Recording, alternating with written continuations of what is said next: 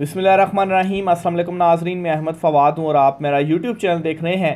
ناظرین، بڑی خبر اور بریکنگ نیوز کے ساتھ آج کی ولاگ میں آپ کی خدمت میں حاضر ہوا ہوں۔ چیف جسٹس کی جانب سے اپنے برادر جاجز سے معافی مانگی گئی ہے۔ اپنے کردار پر جو انہوں نے گزشتہ کچھ عرصے میں نبھایا ہے، خاص طور پر عمران خان صاحب کے مقدمات کے حوالے سے معاملہ کیا ہے۔ اچانک سے یہ جو بڑی تبدیلی آئی ہے، تفصیلات آپ ساتھ میں شیئر کروں گا۔ دوسرے نمبر پر ناظرین، اہم ترین شخصیت نے اسٹیبلشمنٹ کے دباؤ کی وجہ سے ملک چھوڑنے کا اعلان کر دیا ہے۔ یہ معاملہ کیا ہے؟ یہ اعلان کیا ہے؟ اس پر بھی کچھ تفصیلات آپ ساتھ میں نے شیئر کرنی ہے اور آخر میں ناظرین، سپریم کورٹ آف پاکستان میں ایک بڑی انہونی ہوئی ہے۔ اور یہ انہونی چیف جسٹس قاضی فائز عیسیٰ صاحب پر ایک بڑی چارج شیٹ بھی ہے۔ اس پر بھی کچھ اہم ترین تفصیلات ہیں، وہ بھی آج کی ولاگ میں آپ کے ساتھ میں شیئر کروں گا۔ سب سے پہلے تو ناظرین، آج کی سب سے بڑی ڈیولپمنٹ، اہم ترین معاملہ عمران خان کے اگینسٹ پنجاب کابینہ نے اداروں کے خلاف نفرت انگیز بیانیاں بنانے پر کاروائی کی جو منظوری ہے، وہ دے دی ہے۔ یعنی کہ یہ جو حکومت، جو ایک طرف ان کا منافقانہ رویہ تھا کہ رانا ثناء اللہ کے ذریعے عمران خان تک پیغامات پہنچ جانا کہ خان صاحب ہم سے مذاکرات کر لیں، ہمیں ڈیل دے دیں، ہمیں معافی دے دیں۔ لیکن دوسری طرف یہی جو حکومت ہے، وہ کیا کر رہی ہے کہ دیکھیں، پنجاب کابینہ نے منظوری دے دی ہے عمران خان کی اگینسٹ کاروائی کی۔ نہ صرف یہ، پی ٹی آئی سیکریٹریٹ پر جو کچھ ہوا پھر اسی طریقے سے جو ایک اٹیک ہوا راؤف حسن صاحب کے اوپر، تو ایک طرف تو یہ معافیاں مانگ رہے ہیں، منت اللہ کر رہے ہیں اور ڈیل کی کوششیں کر رہے ہیں، لیکن دوسری طرف جو کاروائیاں ہیں وہ بھی کر رہے ہیں۔ تو ایک بات آپ کو میں کلیئر کرتا چلوں جی کہ یہ جو تمام تر حربے یہ اپنا رہے ہیں، اس وقت صرف اور صرف عمران خان صاحب کے اوپر مزید دباؤ بڑھانے کی یہ کوشش ہے۔ کیوں؟ کیونکہ عمران خان ڈٹ کر کھڑا ہوا ہے، انہیں ڈیل نہیں دے رہا اور اس وقت ان کی جو سیاسی بقا ہے اس وقت ان کی یہ صرف اسی بات میں ہے کہ کسی طریقے سے عمران خان راضی ہو جائے انہیں ڈیل دینے میں، کیونکہ اگر ابھی یہ تھوڑا سا وقت مزید گزر گیا، یا آپ کہہ لیں کہ چیف جسٹس قاضی فائد عیسیٰ صاحب کی جو ریٹائرمنٹ ہے وہاں تک اگر معاملات چلے گئے اور خان اسی طرح سے ڈٹا رہا تو پھر انہوں نے اپنا جو بوریا بسترہ ہے، آپ سمجھیں کہ ان کا وہ پیک ہے۔ تو اسی وجہ سے عمران خان ان کو ڈیل نہیں دے رہا۔ تو دوسری طرف انہوں نے مزید دباؤ بڑھانے کے لیے اس طرح کے جو ہتکنڈے ہیں، وہ ونس اگین اپنانے کی کوشش شروع کر دی ہے۔ لیکن یہی ہتکنڈے یہ پہلے اپنا کر دیکھ چکے ہیں۔ آٹھ فروری کو کیا ہوا؟ عمران خان کی پوری جماعت کو الیکشن سے باہر کر دیا گیا۔ آزاد امیدوار لڑے، ان کو کمپینز نہیں کرنے دی گئیں، چھاپے مارے گئے، جلسے نہیں کرنے دیے گئے، لیکن اس کے باوجود عمران خان بڑی جو ان کے آزاد امیدوار تھے، ایک بڑی جماعت بن کر الیکشن میں سامنے آئے اور ان کے جو دھاندی زدہ نتائج تھے، ان نتائج کے مطابق بھی عمران خان صاحب نے سب سے زیادہ جو نشستیں تھیں، وہ حاصل کیں۔ ویسے تو دو تہائی اکثر سے زیادہ عمران خان صاحب نے سیٹیں حاصل کی ہیں نا۔ لیکن پھر بھی ان کے دھاندلی زدہ نتائج کے اوپر مبینہ طور پر جایا جائے تو تب بھی عمران خان صاحب ہی نمبر ون پر ہیں۔ بہرحال جی خبر کی مزید ڈیٹیل کی جانب بڑھتے ہیں جی پنجاب کابینہ نے اداروں کے خلاف بیانات دینے پر عمران خان کے خلاف کاروائی کرنے کی منظوری دے دی ہے۔ وزیر اطلاعات پنجاب عظمہ بخاری نے کہا کہ وزیر اعلیٰ پنجاب مریم نواز غریب آدمی کے لیے دن رات کام کر رہی ہیں۔ ڈالر کی قدر گر رہی ہے، مہنگائی میں کمی آ رہی ہے، عوام کہہ رہے ہیں کہ انہیں سستی اشیاء فراہم ہونا شروع ہو چکی ہے۔ تو یہ میرے خیال سے ان کے جو بوکلاہٹ ہے وہ اس قدر آگے بڑھ چکی ہے کہ اس طرح کی یہ بہکی بہکی باتیں بھی انہوں نے کرنا شروع کر دی بھائی، کام مہنگائی کام ہوئی ہے اور کہاں عوام کہہ رہی ہے کہ مہنگائی کام ہو گئی ہے؟ اس میں بخاری نے مزید کہا کہ اڈیالہ جیل میں بیٹھا شخص ذہنی بیماری کا شکار ہے۔ اچھا اصل میں ذہنی بیماری کا یہ دیکھیں نا، میں وہی لفظ سوچ رہا تھا کہ ان کے لیے میں استعمال کیا کروں نا۔ تو انہوں نے خود ہی الفاظ استعمال کر لیے۔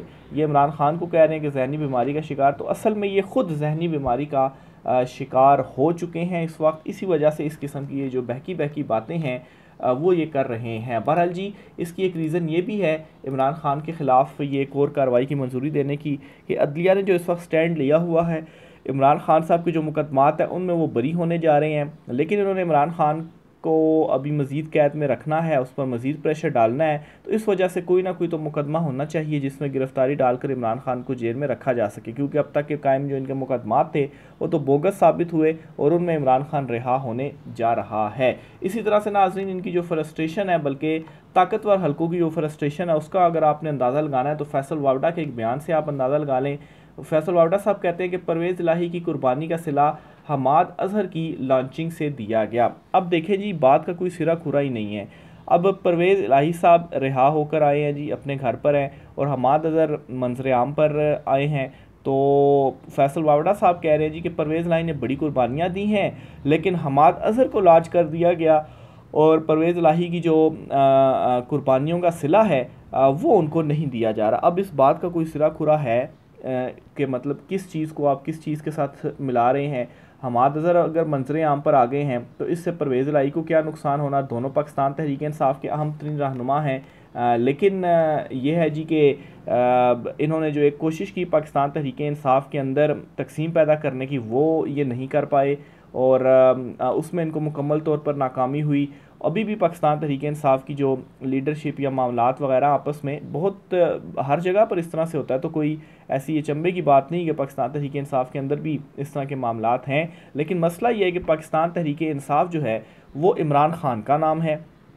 اور جو کچھ مرضی آپ کر لیں عمران خان نے جو احکامات دینے ہیں، انہی احکامات کے اوپر امپلیمنٹ ہونا ہے۔ عمران خان اگر مثال کے طور پر مان بھی لیا جائے، پرویز الہی اور حماد اظہر یہ دونوں آمنے سامنے ہیں، تو عمران خان نے جس کا نام لینا ہے، وہی لیڈ کرے گا، عوام اسی کے ساتھ کھڑی ہوگی اور جو دوسرا بندہ ہوگا، وہ بھی اسی کو ہی سپورٹ کرے گا۔ تو یہ بات آپ اپنے ذہن میں بالکل بٹھا لیں کہ اس قسم کے جو پروپیگنڈے ہیں، اس قسم کی باتیں ہیں، ان میں آپ نے نہیں آنا۔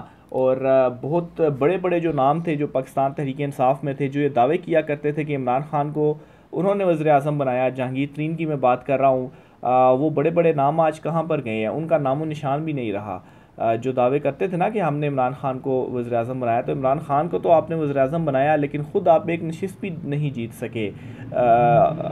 آئی پی پی پارٹی جو ہے وہ آپ نے بنائی ہے۔ آئی پی پی پارٹی آج کہاں پر ہے؟ کتنے جھوٹے الزامات آپ نے لگائے؟ کیا کیا تقریریں آپ نے عمران خان کے اگینسٹ نہیں کی؟ لیکن آج آپ کہاں پر کھڑے ہوئے ہیں؟ صفر بٹا صفر ہے اس وقت آج۔ تو اس لیے پاکستان تحریک انصاف عمران خان کا نام ہے۔ تو پاکستان تحریک انصاف کے اندر جو کچھ مرضی ہوتا رہا یہ دوسری سیاسی جماعتوں کی طرح ہے ہی نہیں۔ جو عمران خان نے کہنا ہے، عوام جو ہے وہ اسی کے ساتھ ہی کھڑی ہوگی۔ آپ الیکشن میں دیکھ لیں، آزاد امیدوار تھے عمران خان نے جن کو کھڑا کیا، عوام نے خود ڈھونڈ ڈھونڈ کر ان کے سمبلز جو ہے کہ کون سا نشان ہے، کس کا، ان کو جا کر ووٹ کاسٹ کیا۔ آگے بڑھتے ہوئے جی آپ کو سپریم کورٹ آف پاکستان سے ایک بڑی خبر دے دو جی۔ ایک چارج شیٹ ہے چیف جسٹس قادی فائد عیسیٰ صاحب پر، اور وہ یہ ہے کہ سترہ برس پرانے قتل کیس کا فیصلہ چار سال پہلے جیل میں مرنے والا ملزم بھی بھری۔ تو یہ ہمارا عدالتی نظام ہے اور یہ ہمارے عدالتی نظام کے چیف جسٹس قادی فائز عیسیٰ سربراہ ہیں کہ ان کے دور میں یہ ہو رہا ہے جی کہ سترہ برس کا پرانا قتل کا فیصلہ سنایا گیا اور جو ملزم تھا وہ جیل میں تھا اور چار سال پہلے وہ ملزم مر چکا اور اب جا کر سپریم کورٹ اس کو بری کر رہی ہے۔ تفصیلات کے مطابق سپریم کورٹ نے پنجاب کے ضلع لودھرا میں سترہ سال قبل ہونے والے قتل کیس کا فیصلہ سناتے ہوئے مقدمے میں گرفتار چار ملزمان کو بے گناہ قرار دیتے ہوئے بری کر دیا۔ ان بری کیے گئے چار ملزمان میں سے ایک ملزم کا چار سال قبل جیل میں انتقال ہو چکا ہے۔ اب میرے خیال سے، جس طرح سے چیف جسٹس قاضی فائز عیسیٰ صاحب کا ایک رویہ رہا ہے تھرو آؤٹ جب سے وہ چیف جسٹس بنے ہیں، تو میرے خیال سے اس فیصلے کے بعد کئی چیف جسٹس صاحب یہ نہ سوچ لیں جی کہ یہ تو ان کے دور کا مقدمہ نہیں تھا، یہ تو ان کے دور سے پہلے مقدمہ دائر ہوا تھا، اس لیے اس کی رسپانسبلٹی ان کے اوپر نہیں آتی۔ جس طرح سے انہوں نے وہ ریمارکس میں کہا تھا جی کہ ان کے دور میں تو کوئی مداخلت نہیں ہوئی، یہ مداخلت اگر ہو رہی ہے تو وہ پہلے سے ہو رہی ہے یا ان کے پاس کوئی چیز رپورٹ نہیں ہو رہی۔ حالانکہ جسٹس بابر ستار صاحب نے جو دوسرا لیٹر لکھا، اس میں یہ کہا کہ ابھی بھی جو مداخلت ہے وہ ہو رہی ہے۔ لیکن چیف صاحب یہ کہتے ہیں کہ سب اچھا کی رپورٹ ہے۔ تو اس میں بھی میرے خیال سے چیف صاحب اس طرح سے نہ کہہ دیں جی یہ تو پرانا کیس تھا، میرے ٹائم کا تو یہ کیس تھا ہی نہیں۔ کیونکہ جس طرح سے ان کا ریمارکس آتے ہیں تو اس سے یہی ایکسپیکٹ ان سے کیا جا سکتا ہے۔ لیکن جو مین کنسرن ہے عدلیہ کا انصاف فراہم کرنے کے حوالے سے یا عدلیہ کی جو ڈیوٹی ہے، اس کا عالم اس وقت یہ ہے جی کہ ایک ملزم کو آپ نے بری کر دیا، لیکن پتہ یہ چلتا ہے جی کہ وہ چار سال قبل انتقال کر گیا تھا۔ تو یہ جی ہمارا عدالتی جو ہے وہ سسٹم ہے انصاف فراہم کرنے کا۔ بڑی خبر آپ کے ساتھ شیئر کرتا چلو جی چیف جسٹس اسلام آباد ہائی کورٹ عامر فاروق صاحب نے اپنے برادر ججز سے معذرت کی ہے۔ صحافی شاہد اسلم صاحب ہے انہوں نے یہ جو بڑی خبر ہے وہ دی ہے۔ اور اس میں جو ریزنز بیان کرنے، ریزنز کیا ہو سکتی ہیں جی؟ ایک تو یہ جی کہ جو ایک رویہ ان کا رہا چیف جسٹس عامر فاروق صاحب کا، جب سے وہ چیف جسٹس بنے خاص طور پر مداخلت کے حوالے سے ان کو بتایا جاتا رہا۔ لیکن ان کی جانب سے کوئی بھی اس میں ایکشن نہیں لیا جا سکا اور پھر اس کے بعد آپ دیکھ لیں عمران خان صاحب کے جو مقدمات تھے ان مقدمات میں چیف جسٹس عامر فاروق صاحب کے اوپر اصل وہاں سے سوالیہ جو نشان تھا وہ اٹھنا شروع ہوا اور اس سے بھی پہلے جو ٹیریان وائٹ والا کیس تھا، وہاں سے عدالت کے اندر جو ایک آپ کہے نا کہ ایکسپوز ہونا وہاں سے شروع ہوئی کہ دیکھیں دو ججز نے فیصلہ دے دیا لیکن پھر بھی چیف جسٹس صاحب جو ہیں وہ کیا کر رہے ہیں، وہ بینچ کو توڑ توڑ دیتے ہیں، ایک پریس ریلیز جاری کر دیتے ہیں، لیکن ایک سال کے بعد جب وہ مقدمہ لگا تو اس میں اسی فیصلے کو برقرار رکھا گیا۔ تو یہ بھی اس بات کی ہنٹ تھی کہ چیف جسٹس عامر فاروق صاحب جو ہیں وہ شاید تھوڑے سے پیچھے ہٹ گئے ہیں۔ اور جب سے جو اسلام آباد ہائی کورٹ کے دیگر ججز ہیں، انہوں نے اسٹینڈ لیا ہے۔ تو یہ ایک بڑی خبر ہے جی جو شاید اسلم صاحب کی جانب سے دی گئی ہے۔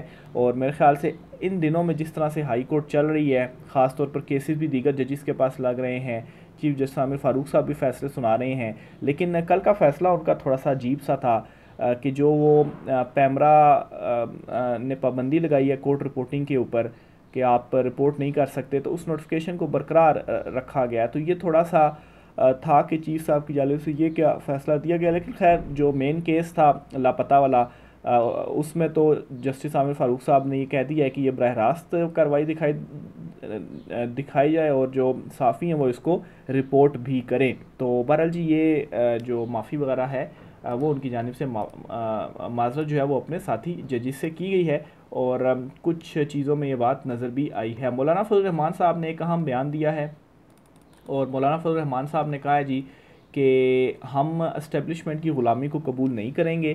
اور اگر ہمیں ملک بھی چھوڑنا پڑ گیا تو ہم ملک چھوڑ دیں گے، لیکن اسٹیبلشمنٹ کی غلامی قبول نہیں کریں گے۔ مولانا فضل الرحمان صاحب، اگر آپ نے اسٹیبلشمنٹ کی غلامی کو قبول نہیں کرنا، تو اس کا حل یہ نہیں ہے کہ آپ ملک چھوڑ کر باہر چلے جائیں اور وہاں پر بڑے سکون سے آپ بیٹھیں اور انقلابی بنے۔ نواز شریف کی طرح کہ دیکھیں جی ہم نے تو غلامی قبول نہیں کی اور ہم ملک چھوڑ کر باہر آ گئے ہیں۔ اگر آپ نے واقعی میں غلامی قبول نہیں کرنی تو آپ اسی ملک میں بیٹھیں رزسٹ کریں اور آپ کہیں کہ جس طریقے سے عمران خان کر رہا ہے اور عمران خان جیل میں بیٹھا ہوا ہے اور ڈٹا ہوا ہے اور وہ کہہ رہا ہے جی کہ مر جاؤں گا، نہ خود جھکوں گا، نہ اپنی قوم کو جھکنے دوں گا۔ تو بہرحال مولانا فضل الرحمان صاحب کہتے ہیں جی کہ ہم باہر چلے جائیں گے، لیکن اسٹیبلشمنٹ کی غلامی قبول نہیں کریں گے۔ دیکھیں کتنا آسان راستہ انہوں نے اپنایا ہوا ہے کہ ہم باہر بیٹھیں گے اور وہاں پر ہم جو ہے وہ مزے کی زندگی گزاریں گے، لیکن ہم اسٹیبلشمنٹ کی غلامی قبول نہیں کریں گے۔ تو باہر بیٹھ کر تو وہ تو کوئی عام شخص بھی ہوگا تو وہ باہر بیٹھے گا تو وہ کیا اس نے کسی کی جو غلامی ہے وہ قبول کرنی ہے جی؟ کہتے ہیں جی کہ اسٹیبلشمنٹ نے منصوبہ بندی کے ساتھ الیکشن میں ہماری قوت کو تقسیم کیا۔ اچھا اس میں جی ویسے مولانا فضل الرحمان صاحب کے ساتھ آج کل پی ٹی آئی کی جو پینگیں ہیں وہ کافی زیادہ بڑھتی جا رہی ہیں، لیکن مولانا فضل الرحمان صاحب کوئی ایسا وہ انقلابی وہ نہیں ہیں۔ کہ آپ کہیں کہ ان کی قوت کو کم کیا گیا یا ان کی سیٹیں چھینی گئیں۔ لیکن چونکہ اس وقت مولانا فضل الرحمان کے ساتھ کچھ وہ مدرسے وغیرہ کے بچے ہیں، تو کچھ پاور یہ پرووائڈ کر سکتے ہیں پاکستان تحریک انصاف کو۔ تو اس لیے پاکستان تحریک انصاف کا یہ جو اقدام ہے، یہ پازیٹیو ہی لینا چاہیے۔ بہرحال مولانا فضل الرحمان جو ہیں، وہ کوئی ایسا وہ نہیں ہے کہ یہی تو وہ مولانا فضل الرحمان تھے کہ جو پی ڈی ایم کے بھی سربراہ تھے۔ جب پی ڈی ایم کی حکومت بنی تو یہ بھی اس حکومت میں شامل تھے، وزارتیں بھی انہوں نے لیں۔ لیکن اس کے بعد جب الیکشنز ہوئے تو پیپلز پارٹی اور نون لیگ نے حکومت بنا لی تو اس میں مولانا فضل الرحمان صاحب کو حصہ نہیں ملا۔ تو اس وجہ سے اس قسم کی یہ جو باتیں ہیں وہ کر رہے ہیں۔ شبلی فراز صاحب کی جانب سے اہم بیان دیا گیا اور انہوں نے کہا ہے کہ آپ طاقت کے زور پر سیاست نہیں کر سکتے، دفاتر تو گرا سکتے ہیں، لیکن عوام کے دلوں سے عمران خان کی محبت ختم نہیں کر سکتے۔ رات کے اندھیرے میں ہمارے مرکزی دفتر پر دھاوا بولا گیا اور دفتر گرایا گیا۔ ہم اس کی مذمت کرتے ہیں۔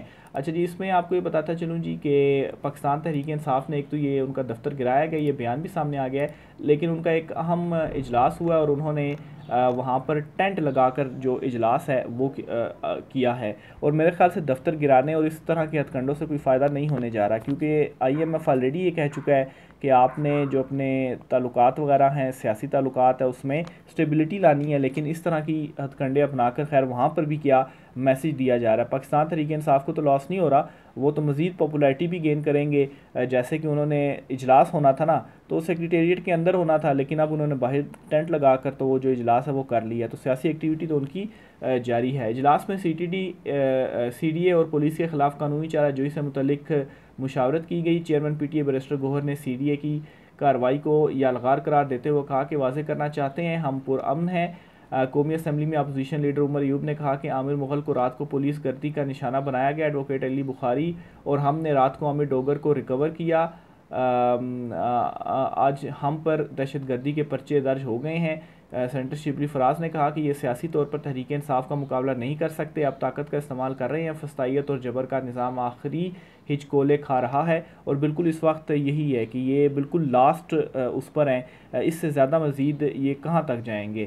متعلقہ سیکریٹریٹ سے متعلق جو کچھ دستاویزات وغیرہ ہے جی اس کے مطابق جی کہ پلاٹ سرتاج نامی شخص نے سے سات جولائی دو ہزار بیس کو تحریک انصاف کے نام منتقل ہوا۔